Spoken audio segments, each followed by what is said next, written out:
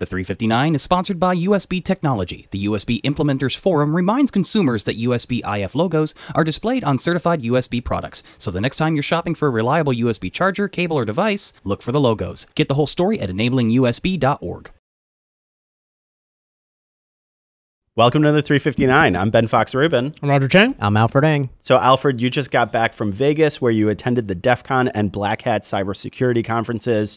First of all, what was what was it like? How did you like it? I mean, there was a ton of cybersecurity news that had come out of there. I think I wrote like nine stories in three days. All right, stop Um, showing off. I'm, I'm trying to.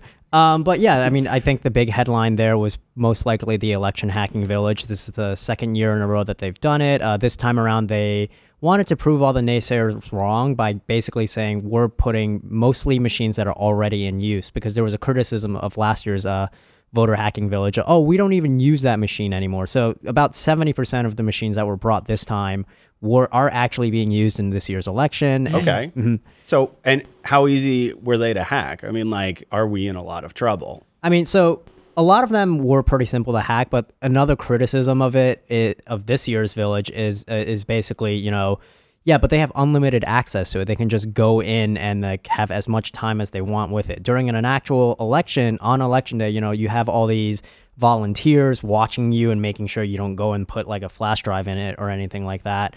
Um, but I think there's still, you know, a lot of valid points being made from here where basically the idea is okay, but you're still using this machine. And like, just because you have people watching for it doesn't mean that there can't be, you know, some issue with like physical security where like your volunteer's not looking at it at this time. And then the idea is like, if people lose their confidence in an election in the voting machines, like even if it's just one machine that's compromised, the whole Totally. point Yeah. is, you know, I don't know if I can really trust who we elected anymore or anything like that. Yeah.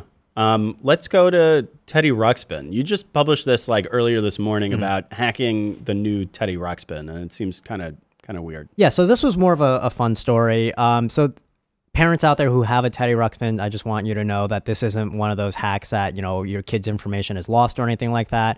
Basically, a cybersecurity researcher wanted to take a look and see if he could put anything that he wanted on it. Um, Teddy Ruxpin has a complex um, file system that like you can it only accepts files in a certain system but he was able to do it um and he basically took a video clip from the movie hackers from like 1995 where this guy's yelling hack the planet and then he puts it on the teddy ruxpin um, and its eyes are showing like the def con logo instead of its like cute like blue led eyes Yeah. yeah. Ah, um, nice. But yeah, this this guy that had done it is already an IoT security uh, researcher, and he anytime he gets like a smart toy for his kid or anything like that, he wants to see all the different ways that he can hack it. So this one was kind of safe, so he, he gave it to his kid, and now he can put any story that he wants on it. So. Well, but also, what, was it easy to actually hack Teddy Ruxpin? Um, I mean, once he figured out what kind of like files that it needed and like how to convert like his images and audio into that file, then yes. But you know, I think the whole process of figuring that out might have taken a bit longer. Nice. Uh, also, we wanted to talk about smart cities too. So this is this is something where more things are getting connected these days, and I guess that means there are more vulnerabilities and more ways to like hack into a smart city, right? Yeah, this is much more serious than the the Teddy Ruxpin hack. So these were um, they these researchers basically took a look at secure smart city systems from three different companies that you know one does like controlling lighting uh, to uh, one does like flood warnings and then another one does like road stuff um, like for smart cars and things like that and they found like really simple vulnerabilities like some of them had like their password set on by default uh, some of them they could yeah so like one of the tips that they basically gave to these companies like maybe you should like change your passwords if you're gonna like implement them uh, in your in your entire city. It's like a tip for everybody Yeah. when, when it comes to smart cities. so I reached out to the three companies, all of them who said they fixed it. One of them behind the cars basically said, you know, we don't um, test this on public roads. They were being used by the Federal Highway uh, Administration, um, but it wasn't being used on any public roads, thankfully. So um, there's not that much of a danger there either. Nice. Well, luckily now I'm terrified about everything. Uh, lastly, we wanted to give a shout out to Claire Reilly's story on Coober Pedy, an opal mining town in Australia where people live in underground mining holes. Definitely check out that story. If you want to read more about these stories, check us out on CNET. Thanks for listening, everybody. I'm Ben Fox Rubin. I'm Roger Cheng. I'm Alfred Ng. I think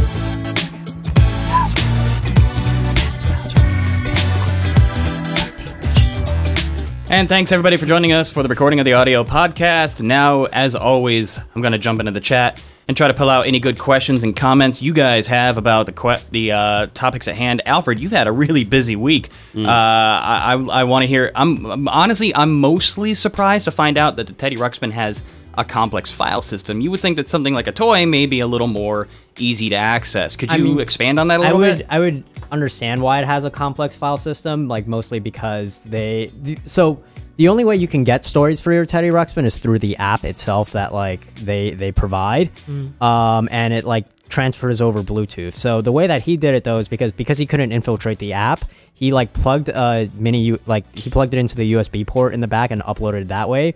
And even when he does that, he can't create a new story that you can access from the app. You basically have to replace the files uh, from another story. So like you would open up like I don't know what stories Teddy Ruxpin has, but let's say it has like uh, the Three Little Pigs.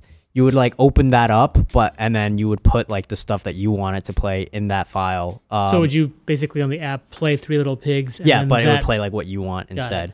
Um, but yeah, let me look through this. But like it's it's very, I guess like nuance. It's very specific. So like for the Right. images, You can't do it to somebody else's remotely, or you wouldn't be able to do it to like thousands at the same Yeah, time. for the images on the eyes, um, they have to be 128 uh, by 128 pixels um, because the eyes are only like 1.25 inches. right. Um, and then the audio itself has to be like a specific type of wave file. Um, and then even beyond that, he have to you have to put it through a um, what's it called a formatter to make it a, a custom SNX ROM format.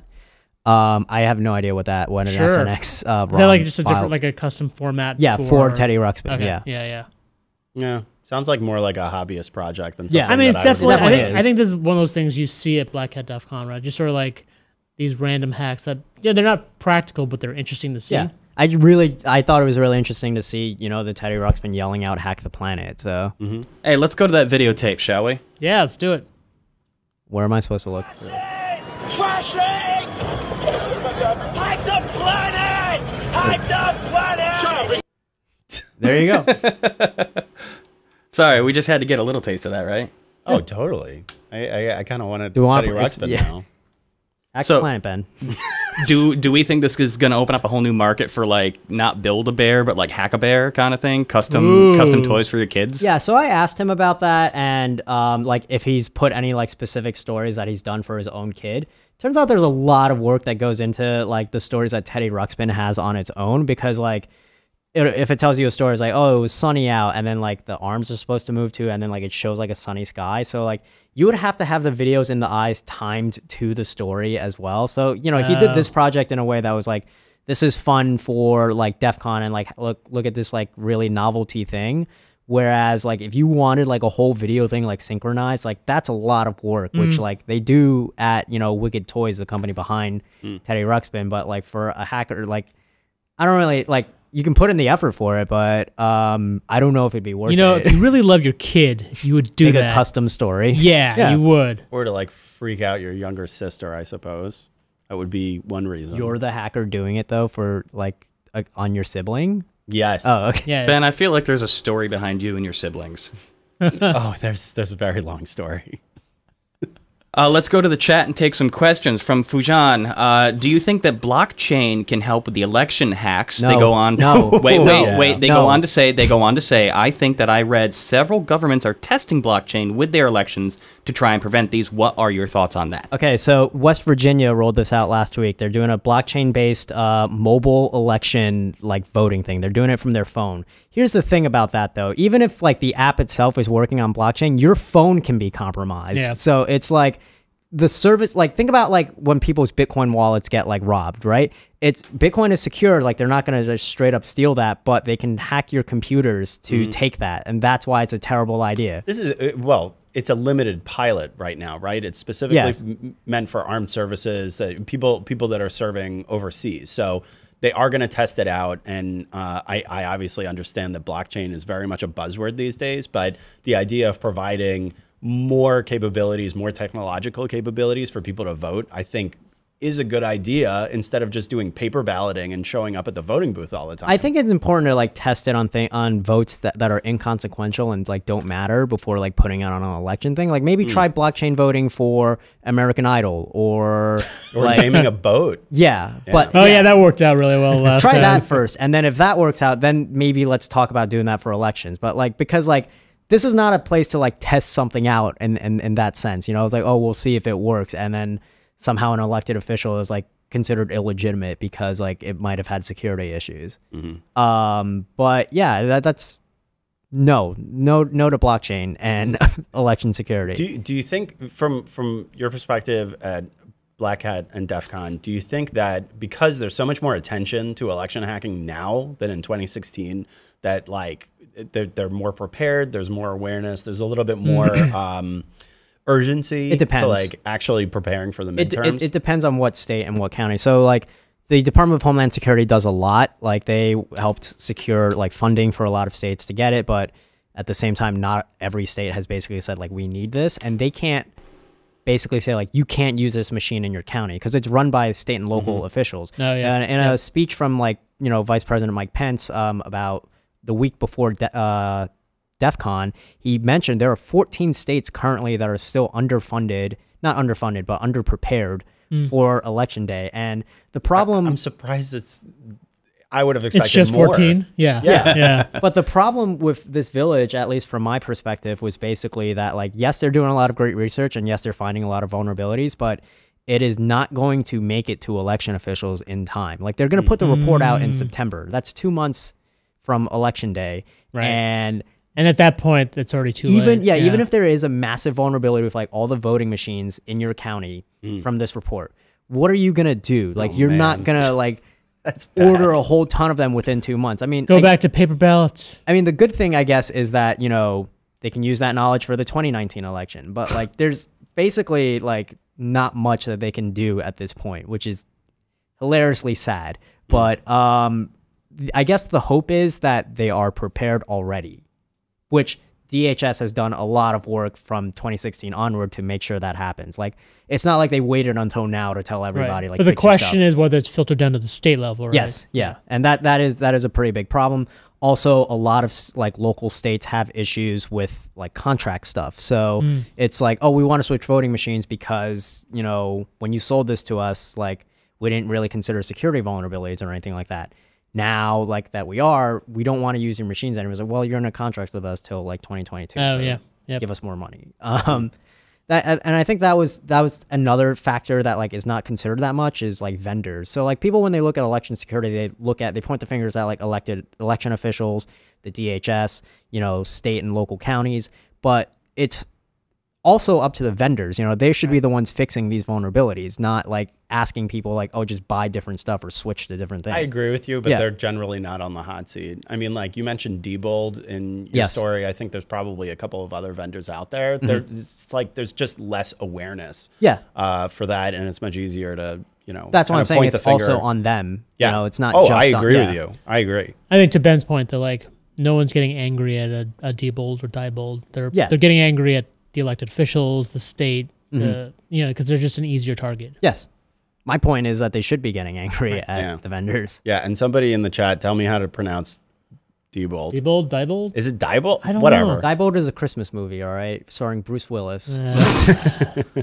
Either way. That's gonna be like that. I feel like that's a good name for a Die Hard sequel. Diebold? Diebold. That's an And then awesome name. That's like the off-brand that you get at like Walmart. nice. Uh, let's take another question from K19. Uh, how does one get involved with DEF CON? I always wonder if the Ah. convention is open to the public. yeah, it, it's open to the public. You can. Uh, it's every summer, um, and it's much less expensive than Black Hat. Uh, but yeah, you can just go. Um, you should check it on their website and find out when it is. If they tell you that DEF CON is canceled, that's not true. Um, that that is a long running joke with DEF CON where it's basically like anybody that's like new to it will ask like, oh, when is DEF CON or anything like that, then and it- I was like, it's no, canceled. DEF CON is canceled. Um, so most of the times it's not canceled. Uh, there's been a few cases where it's come close to being canceled, from what I've heard. Oh, really? Um, yeah, That's also a joke. yeah. So just check it on their. um, yeah, just check it out on their website. It's open to the public. You can uh, come as press. You can come as um, just a normal person. You can go as like a, a contestant, like the, all these different contests and stuff. If you're a security researcher, I- I'm sure you know that you can go as a speaker. Yeah, they have they have all these like different things that you can go there for. And what about Black Hat? Same thing. It's open to the public, but it's also much more expensive because Black Hat is more for like corporate like cybersecurity companies. Which one's the more fun show to go to? I mean, to? I guess it depends on what you like. Um, like they have a show floor for um Black Hat where like Okay. they have like oh check out this stuff from like Symantec. They also do all these like weird like kind of gimmicks to like get you to like stop at their booth and oh like talk yeah, to them and like stuff. a normal trade show. Yeah. So if you like if you like swag, like if you like free stuff, then Black Black Hat? Hat, is for you. There's a Oh, ton of free stuff there. That's I got a blockchain necklace there. Um, is it just a? It's literally like a cinder like it's like a 3D printed cinder block on like a chain. That's kind of cool. And you're not wearing it now. Why? It's at my desk. I can go get it, but I don't want to walk off set. So Okay. Uh, thank you to Mark Fitzpatrick and Matthew Datcher for clearing it up. It is pronounced D-Bold. Be bold. You got it right. Let's take one from our old friend Srinjoy. Why isn't uh, or why aren't the IT giants jumping into EVM development? Dubious elections are a worldwide problem. Any corporate or any corporation can make huge money by getting national contracts.